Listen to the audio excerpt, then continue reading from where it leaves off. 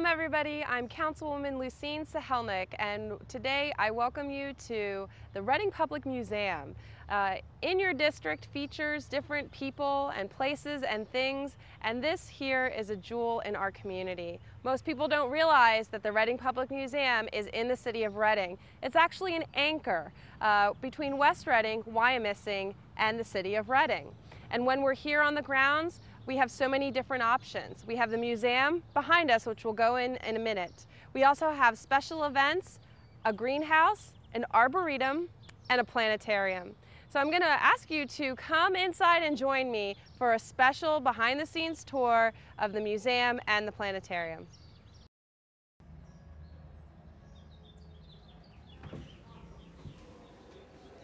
So here we are walking into the museum, one of the most beautiful entrances, a spectacular solarium, banners welcoming you, and a beautiful gift shop. This is one of my favorite places to shop for the special people in my life. We're going to meet with Rebecca, uh, who is the Education Program Associate. She's going to walk us through the museum and tell us some special and interesting facts beyond just general information so that you can come here and visit at any time with your family and friends. So follow me as we come in. You'll usually see this background and wonderful employees and volunteers here at the front desk. And we come in and we meet Rebecca. Hey, Rebecca, how are you? I'm well. How are you doing? Good. It's so bright and sunny today at the museum. Yes, Thanks it is. for welcoming us here. Absolutely. Um, we're so happy that you are in District 1, mm -hmm. um, and we're lucky to be here with you for a tour. Well, thank you, and we'll be glad to take you around.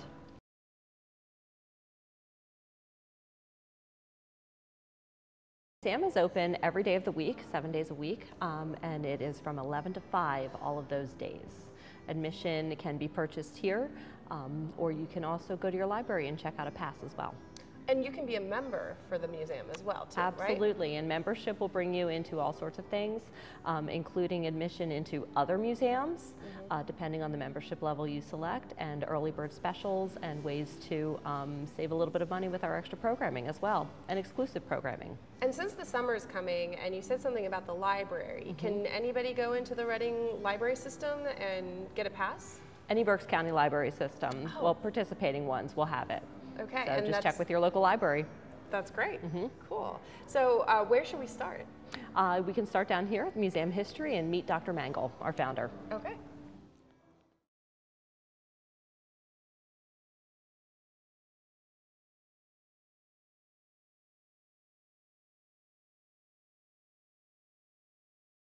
Okay, so this is an animatronic version of our founder, Dr. Mengel, and he basically uh, tells you welcome to the museum and um, his philosophy behind it, which is that he founded the museum because he believes that children learn more by looking at and by being able to interact with objects than they would in 30 minutes of a lecture. Mm -hmm. So um, getting them in to see things is what is where the knowledge is expounded upon mm -hmm. versus so learning it. When you come in here, then right away you get mm -hmm. a mm-hmm. quick little timeline um, and history about the museum, when the museum was founded. Yes. Um, and who founded it, which is really cool. Yep. He looks very lifelike.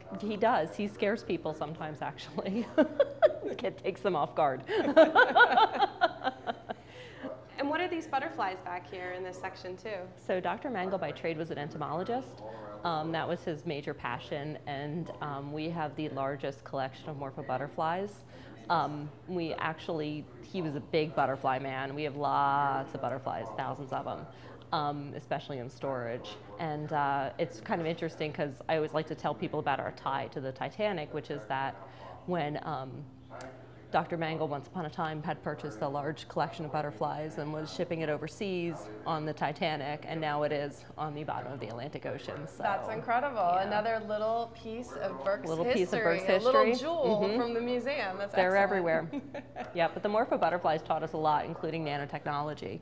So we've learned a lot by studying them. That's awesome. So where's the next step? So the next step would be down to our Works on Paper gallery, which is currently empty. Um, this is typically where we have any kind of uh, artistic works on paper, which basically means anything except paintings. So etchings, drawings, sketches, um, anything along those lines would be featured down here. It's a nice quiet little gallery. Coming up in this one is going to be Smokey Bear. and the art of Rudy Waldenstein. I'm going to screw his name. Oh, that's okay. Yes, but Smokey Bear and his artist. So And the actual empty right caricature of Smokey Bear that's been passed down that we all recognize Yep. with Yep, we're going only to you can prevent forest You can fires. prevent right? fires. I think they changed that slogan uh, a couple years back. I think the, Mm-hmm. language is a little bit different. Um, but when is that coming through? That is going to be coming up on the 18th of May Mm-hmm. and will be with us, I believe, until beginning of September.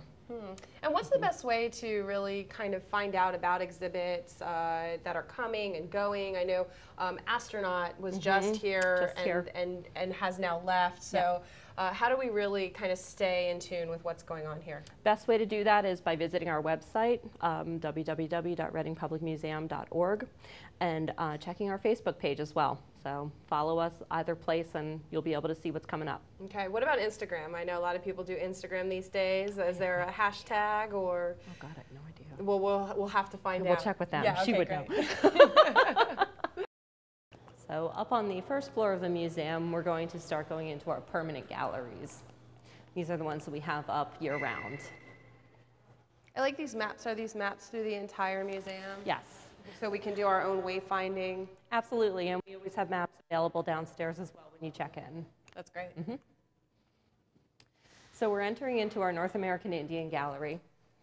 And this gallery is uh, set up to um, kind of mimic the four seasons. So we have uh, different areas of North America featured here with the North American Indian tribes that lived in them. Um, we have the Delaware, primarily the Lenni Lenape on this side. And this represents uh, fall. We have the Montagnais, which are a little bit north of us into Canada. That represents spring. We have the southwestern tribes over here representing summer, and we have the Inuit in the north representing winter. This is really a beautiful room, especially since it speaks to our native um, culture, but also the fact that here in Reading, we are lucky enough to experience all four seasons. Absolutely, yeah, and a lot of places are not. So this is a great way to get a little bit of the taste of how they lived and functioned and um, used nature in all its facets. The next gallery we go into is our Latin America gallery. And this will feature artifacts from the Aztec, the Maya, and the Inca. Uh, we have some major highlights in here, which include um, our Incan gold. And this is pre-Columbian gold in its original facet, which is quite rare um, because when the Spanish came over, they would just take the gold and they would melt it down right away, whatever they found. So finding it in its original Right. form is very unique.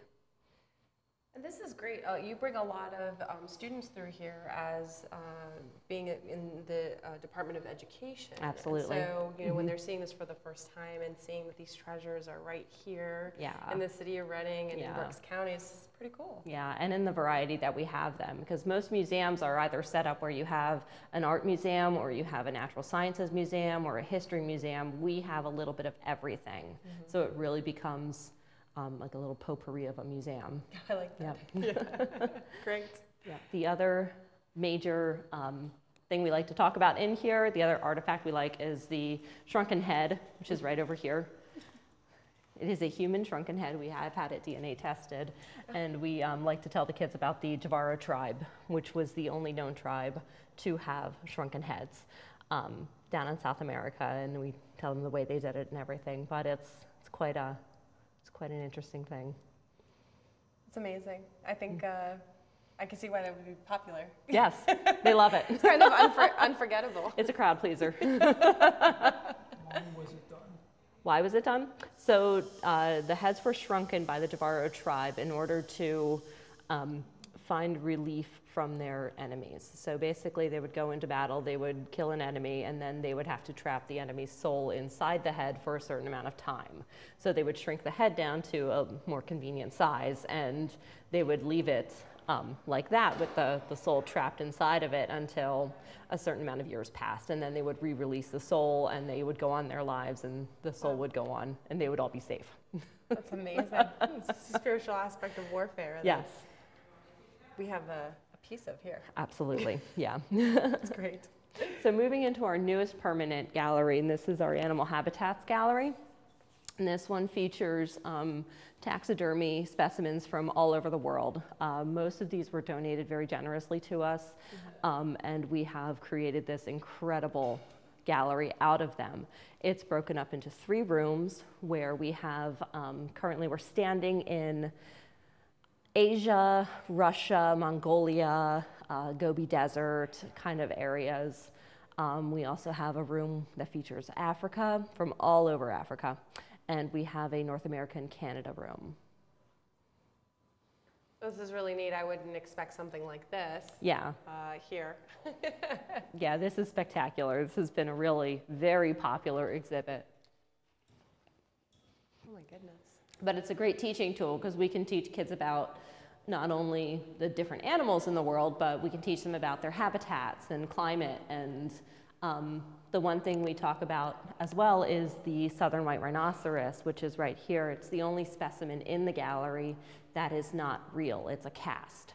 And we talk about it because it's a conservation effort. So it's a, it's a way that um, they are creating these exact replicas of animals as hunting trophies, and then uh, the scientists are being able to make sure that the animals are safe, and then the white rhino is being preserved because the northern white rhino is going extinct, but the southern has actually made some vast improvements. So serves a lot of tools.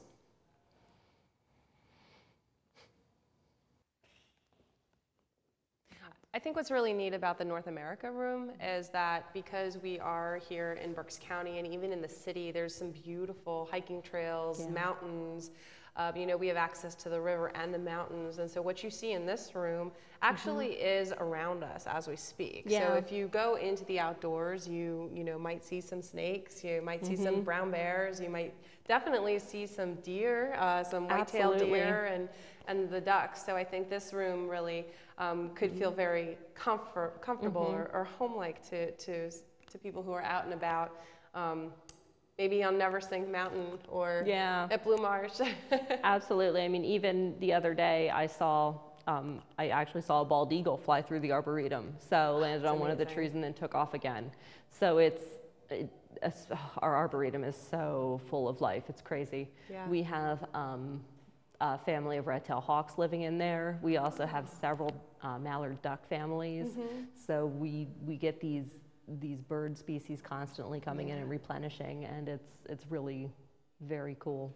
And we'll probably not be able to go out and walk the entire arboretum, but I mean, that's definitely one of the best pieces. I know Mm-hmm. that my family comes because we're within walking distance and Oh, we're nice. always walking, you know, the grounds of the arboretum. We'll have to look for Mm-hmm. all the, the wildlife that you just talked Absolutely. about. Um, but it's also nice to be able to come and um, walk through it during the different seasons, Mm-hmm. especially um, seeing how the master gardeners come and maintain it um, Mm-hmm. Yeah. and just really keep it so pristine and beautiful. Yeah, our arboretum team, arboretum team does a great job. Yes, Mm-hmm. and the sculptures. So I love the you know different sculptures. They've been increasing over time, yes. and and um, the Trudy's Garden is it with the heart? Mm-hmm. Yes. Um, they're just little pockets of beauty throughout you know the entire Mm-hmm. museum grounds. So um, definitely worth coming just to to walk through if you can't come inside. Absolutely. so now we're walking into our World Cultures Gallery, and this is going to feature artifacts from um, Asia and from the South Pacific, uh, from India. Uh, we have some lovely Japanese ancestral portraits up along the wall. It's part of the big features of this gallery. The other features we um, really kind of bring out are our elephant tusk over here, That's beautiful. completely carved, yeah. Wow. I think having um, the Japanese portraits are nice because of the pagoda that Mm-hmm. Yeah. watches over our city. Absolutely, So absolutely. Ties that in together. This is beautiful. Yeah, this is spectacular. And then our 12 Buddhas in the back as well are one of our um, other kind of highlights for this area. Tell me a little bit more about the 12 Buddhas you said. I might be wrong, but I believe um, that the 12 Buddhas are the 12 uh, phases of Buddha that he has to go through. in order to achieve enlightenment, but I could be completely wrong on that. Well, that's something to look into and That discover. is something to look up. Yeah. We don't do this gallery a lot, believe it or not. Well, you know what's interesting is um, there are many different um, representations of Buddha. Yeah, Yeah, there are so um, many. You know, so depending on what culture, what part of the world. Mm-hmm. Um, so you know, we see here uh, just you know a couple of Yeah. whether it's a Thai or a Buddhist or you know a Hindu version. Absolutely. Um, I think that's really neat within the culture within itself and that concept. Yeah. Yeah. Absolutely. Going into our Ancient Civilizations Gallery brings us to one of the um, main jewels of the museum, and that is our mummy, Nefrina. You always hear about the mummy. Yes. That's a, a important piece of Berks County trivia. Very important. If Yeah. you don't know who Nefrina is, you're not No, really- you're not. You haven't seen Berks County, yeah. um, so Nefrina lived roughly 2,350 years ago in the city of Akhmim, and um, she was originally excavated by the University of Pennsylvania. And she has resided here with us uh, for a very long time. She's definitely been in our, in our purchased possession since the 1930s. So She looks pretty good. She looks fantastic. She Yeah. doesn't look a day over 500. um, we had CAT scans done of her to determine what, um, what she looks like inside, so we didn't have to unwrap her, uh, which always show throughout the gallery on the TV. Um, these taught us an awful lot about her. We discovered she had a fracture in her hip that we think she never healed properly, uh, and that's how she, she got an infection and passed away that way. We found she had arthritis. We found she wasn't royalty because of the way her arms are crossed. Um, we found quite a lot about her. And then to cap that, using the CAT scans and using her, we had Frank Bender come in and create this bust of her so we could see what she would have looked like when she was alive. That's so neat. Uh, he's a forensic facial reconstructor. Okay. Wow, so that's what she would have looked like. That's what she would have looked like. They can say, uh, we can say this with 98.2% accuracy. It's really amazing. Yeah, it's incredible. And a good example too of, of different um, jobs and industries. You know, some, most people may not think of Mm-hmm. Yeah. the opportunity of getting into forensics. Yeah. So as you're bringing children through the museum here, kind of demonstrating so many different uh, jobs and opportunities, Absolutely, creative aspects of life. Yep, and that you don't even think of how they would be applied to archaeology. You know, where you, you think forensics are only solely for police cases, but um, they can actually be applied to other other avenues as well. So it's yeah, it really expands. So moving into our next gallery, we have our arms and armor. I'm telling you, we have a little bit of everything. Oh, I bet this room is really popular. Oh, it Games is. of Thrones, right? Yeah, this is such a popular one with the kids. Um, but our big highlights in here are especially our Maximilian suit of armor, which was uh, coined by um, Holy Roman Emperor Maximilian I, and he resided over the. Um, he was primarily in the area that is present-day Germany. Um, and it's just got spectacular fluting in it and carving, and the metalwork is just gorgeous. And then we also have um, two samurai suits of armor. Oh, that's neat. Yeah. You don't often think of the samurai. as having suits of armor, yeah. And they actually were existing in the same time period. So that's something that a Oh, lot of people don't think as you well Don't think about that at all. Yeah. because they were so different and varied. So if you put the samurai suit of armor against the the metal suit of armor, Mm-hmm. who do you think would have a better probability? I think it all depends on the uh, fighting style and how sharp those samurai swords are because they are they are scary. They're both versions of plate armor too, which is something that you don't think about. And mm-hmm. plate armor just means it's folded many, many times. So, you know, between the two, I mean, they made some of the first bulletproof vests out of silk, which is part of the samurai armor as well. So, mm-hmm. who would win? I don't know. I think it's been passed down, so they've been melded and, and Mm-hmm. combined, and the, and now the technology is, is progressed even further. It's so vast, yeah. Yeah. I mean, it was there was a huge gap of time where armor wasn't used because the weaponry was too advanced, and if you if the armor's not protecting you, why wear it? So it wasn't really until the 1970s, starting in I think like the mm, I'm going to say the 1700s, maybe the 1800s, um, when the gun technology was starting to get much, much better. There, we have this huge gap where it wasn't used until the 1970s when Kevlar was invented. And that's when, by DuPont actually, by a, a lady at DuPont, accidentally, she was trying to make new tires and she, she discovered Kevlar, so. Amazing. Yep. and then the last gallery on this floor is our Pennsylvania German Gallery. And this one features um, all various art forms from the Pennsylvania German culture. So redware, stoneware, tinware, um, clock making, reverse glass painting, cabinetry, fraktur. If it's Pennsylvania German, we have example in here. So I find this room really comforting, Mm-hmm. uh, not having been born and raised in Berks County. Okay. This culture here was Yeah. very new to me. Um, and the, you know, since I've lived here, I've seen these types of uh, arts Mm-hmm. and furniture and, you know, um, in different places, people I've met, homes, Yeah, you know, yeah. little roadside stores, antique stores and stands. Um, Mm-hmm. And it really does, you know, help identify Yeah. our community because it's a really important part of our community. Yep, absolutely. This is a really nice gallery to talk to students about immigration too, because um, the Pennsylvania Germans came from Germany originally, and they, they fled Germany when um, Martin Luther. Oh God, me get this wrong. They fled Germany for religious purposes. Let's Yes. start there. Yeah. Um, came here, and they could only bring what they could carry in a trunk. Right. So you, we talked to the kids about what can you put in a trunk, what's important, and they would come in communities. So they would have cabinet makers and a pastor and a doctor and a schoolmaster, and they would have all these things so that when they got to their communities, they would be able to set up and continue on with their lives. Right. So And even the concept of a trunk, you know, i- is not so common anymore. No, Uh, you know, so you show the kids this is what what can you fit in here, guys. and, and most days now they probably ship everything through Amazon, right? Absolutely, yeah, absolutely.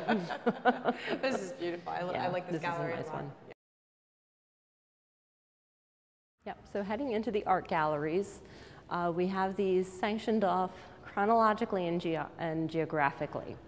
So the orange room here is our early European art. So this is going to feature um, all kinds of mostly sacred works because that's who had the money at the time. It was the sacred and the royalty. Uh, so the church had a lot of money, therefore you're going to see a lot of period pieces with um, Mary and Jesus and saints and St. Francis and everybody else. Um, the main, one of the big draws in here is our Tintoretto, which is over on that wall. It's quite a popular artist, um, right in front of us. Yeah. Is that the Tintoretto? Am I getting it wrong? No, I got it right. Okay, Yeah. good for me. Good for me. The raising of Lazarus. The Raising of Lazarus. I think um, there, there's such importance in even this era in the iconograph, you know, Yeah. because uh, when we see what just happened with Notre Dame, and you know, Yes. that those were considered institutions and sanctuaries for art, beautiful religious Yes. art. And so the fact that it's dispersed in so many different places around the world, I, Yes. I think can keep us hopeful Yes. that it will like be little- appreciated. Little, Yeah, safe spaces everywhere. Exactly.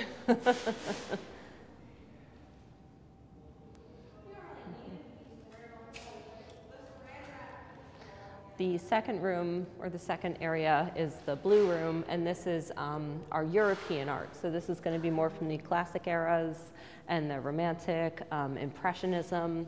The balloon here is one of our, our largest paintings, and this is um, an Impressionist piece that we like to talk about and show the kids because it really gives you a good idea of how um, not only perspective works, but how the artist is able to redirect where your point of view goes. So the main part here is the people in the corner, but you are automatically directed to look up at the balloon, which is where they are.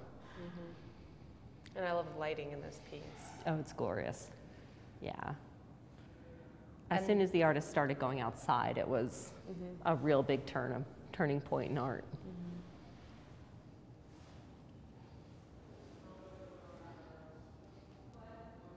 Yeah, this is uh, kind of starting to reflect your everyday living, whether you're in the fields Mm-hmm. or uh, you're with your family or in the city or the farms. You're starting to get a sense of Yeah, the they- world around you. They really started painting more commonplace things Mm-hmm. as they were moving on into, into the outdoors.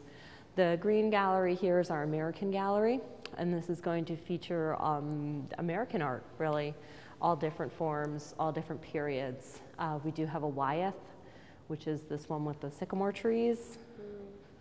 The heck is this one called?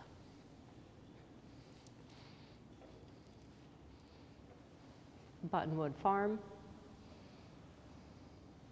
it's beautiful. It's something that you'd probably see here. Yeah. we are, um, did you purchase this? Oh no, we're working on uh, purchasing this one right now, Henrietta with Red Book by John French Sloan. We have uh, several of his etchings, but we haven't acquired one of his paintings yet, so we're really hoping to, to acquire that one. So how does that work? I saw some pieces, Mm-hmm. um, you know, for that campaign. So if there's something that you, as you know, an institution want to buy, Mm-hmm. you know, how how does that happen, and how does the public get involved in that? If, if she speaks to us, Yep. then. Basically, we just, uh, we saturate, we, we say this is what we're looking to do, this is why we want to acquire this piece, and then we, we start to, this particular piece we crowdfunded, so we, um, we did uh, fundraisers and we did, um, we had like a little bin out here um, where people could donate, but we basically just asked the crowd to, to donate it. And then um, private funding is another way that we can definitely work on acquiring pieces as well. So how close are we to um, saving Henrietta? I do not know. I haven't been updated. That's great though. I know, I had to read. I was like, is she in our prediction? She's not in our question. Okay. Well, I think what's neat about that too is understanding that some things are on loan, some things are, we can own, Yes. um, and the community can really be a proactive piece of that or feel that sense of ownership of, hey, I contributed to, you know, bringing in that piece bringing this piece keeping here. it here. Yep. Um, another major work we like to talk about is uh, our church, Frederic Church. He was uh, one of the founders of the Hudson River School of Art.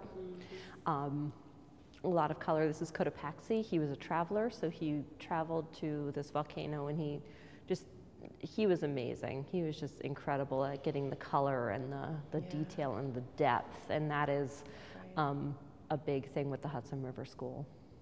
And it looks like prehistoric. I It mean, does, yeah. With the, the tones and land. It's like the dawn of time, yeah. So this is one of our modern art galleries, and this is going to feature a lot more contemporary works.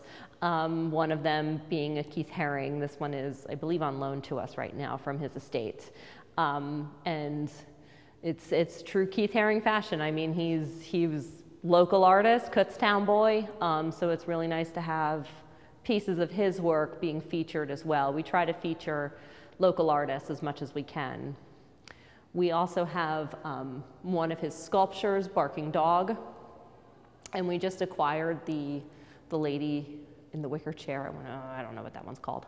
Um, but that piece is actually really kind of cool because it's all, it's entirely bronze, Oh, but it looks like it's wicker. It's, it's Yeah. entirely bronze. I want to say it's painted. I haven't, I don't know. Um, but it's just a really cool piece. So that's one of our new acquisitions.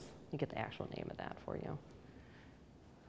George Segal, Woman in White Wicker Rocker. That's not easy to say.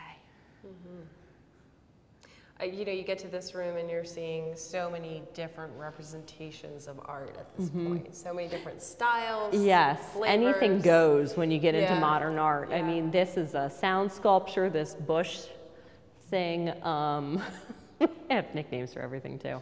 That's the problem is I have to remember what's the nickname, what's the real name.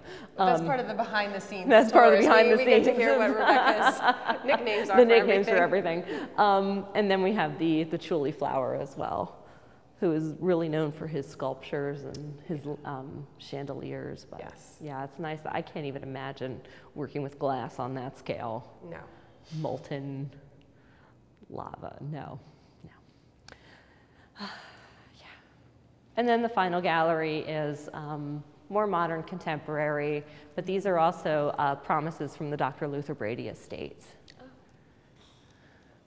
What does that mean specifically? That means um, they're going to be gifted to us. So these have been promised to us um, in his estate, and uh, they will eventually come to our collections permanently. And I know that sometimes um, there you have functions. I know that I've been here for weddings Mm-hmm. Absolutely. where you are in the gallery. Yep. Uh, what other types of events do you have? Like, um, I think I've seen sketching. You can come in and is that Yes. So um, we do weddings, we do uh, private parties, we do galas um, and dinners. We do uh, other small programs like Drop In and Draw, which is uh, a little program where you can come in and you can just pick up some, some drawing tools at the front desk and come up into the galleries and sketch as you like. Um, we do birthday parties, especially for like little kids. We have paleo parties coming up with Permian monsters, where you do themed things based on the gallery. So they'll do like fossils things and dinosaur things and Permian things, and um, then they have their party. We have summer camp. Summer camp's our big one coming up, and that is uh, seven weeks of full day camp all different themes, all kind of revolving around different galleries and different areas of the museum. We do everything from science camp and STEM camps to um, uh, one called Eek Real Monsters, which will feature Permian monsters. We have space camp. We have an art camp. Wow. Uh, we have one we call Raiders of the Lost Artifact, where the kids will get to really just explore all the lost stuff in the museum. And uh, we do an outdoors camp as well, so we have quite a lot. And then at the very end, we offer a half day preschool camp, which kind of sums up everything. So they'll, they'll get to do a little bit of everything. That one's called Tinker Tots this year, but Okay. that's a big part of it. We also do scout workshops with Boy Scouts and Girl Scouts, private and through councils. Um, we're currently working on becoming merit badge counselors right now, so we can work with the Boy Scouts um, in their pursuits for their merit badges. Uh, oh my God, what else do we do? We do big events like Dogs and Brews. Right. That's coming up. That's coming Yep. up. That's The really fun. month. Mm-hmm. End of the month, uh, the 26th, I believe, from noon to 4. Mm-hmm. Yep. And that one's a big one um, in conjunction with the Animal Rescue League. Right. They'll have some animals here as well, and it's it's fundraising for both. Yeah. And um, obviously, there'll be beer tasting. So Right. yeah, That's always a draw for the adults. absolutely, yeah, yeah. So when you're talking about some of your camps, Mm-hmm. I wonder, are there um, scholarships or any opportunities for individuals to attend who Mm-hmm. may not be able to um, pay for the fees? Because it sounds like really exciting Yeah. learning opportunities. Currently, we don't have anything set up like that. We offer grants for schools sometimes. Um, we have a, a fund set aside that we can, um, it's called Feed Their Imagination.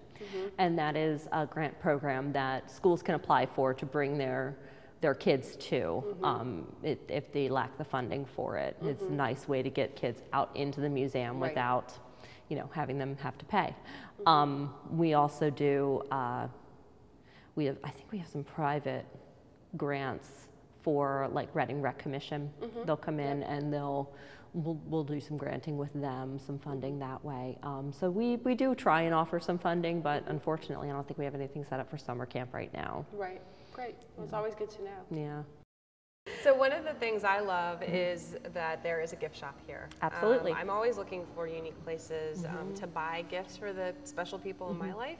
Um, and I know the museum gift shop is something that I, I always come and look here uh, for different occasions. Yep. And that you can come and shop here even if you aren't a member or you know coming into the museum for a day. Absolutely. Um, so tell me a little bit about the, the gift shop um, and uh, you know what types of products that, that you have here.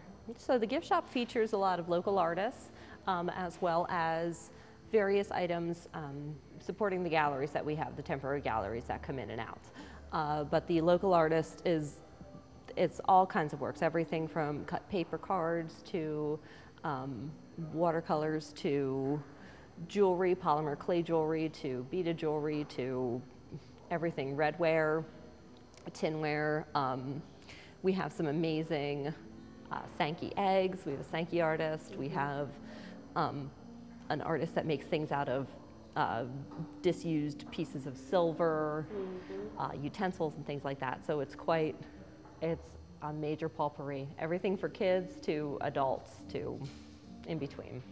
That's great. And one of the, um, I think, probably most popular, so either on your way in or way out, you can grab a little something from the museum. Absolutely. I remember always, um, as a child growing up in Washington, D.C., going to the mall and going to the Air and Space, and you know, and Yeah. I always wanted to stop and get just one little um, thing uh, to remember you know, Little my trinket, experience yep. by. So that's Yep. great. I think what's nice too is then we have this table here, um, and it kind of just helps guide you to, you know, how to uh, learn more about becoming a member. Um, you know, I, I love that, you know, snap a photo, um, you know, with a sculpture. Um, just all this information about what's coming in 2019, um, the different um, programs that you have where if you're a member here, Yep. you can you go can get somewhere else other to other museums. Absolutely. Um, so really a good place to, to get some infor- general information about the museum.